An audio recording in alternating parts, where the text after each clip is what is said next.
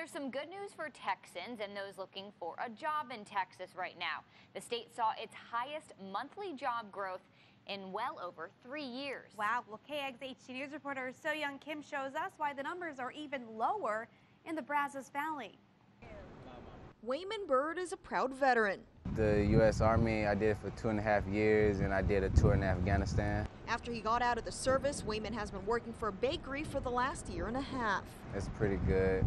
Pay enough. I think it's one of the highest paying in the area. And he's not alone. New numbers from the Texas Workforce Commission show Texas unemployment dropped again in April to lows not seen in years. In the Brazos Valley, a year ago we had 4.9 unemployment rate and as of April, we have 3.6. Experts say the Brazos Valley's economy has historically been very stable. Because of the economic makeup of our area, it's predominantly education and government. And even with those new residents moving to the Brazos Valley every year, it's new businesses like the Yoga Pod that create new opportunities. Yoga Pod is a pure yoga studio where all we do all day from 6 in the morning until sometimes 10 o'clock at night is, is yoga. As a business owner, Cliff Latham has seen the growth in the area firsthand. You feel it, you know it, you see it happening. There's more traffic, there's more people in line at restaurants. Wayman says he hopes to eventually find a job that pays more, but he goes to work work every day. Regardless, either way it goes, it's good to have a job. With a grateful heart.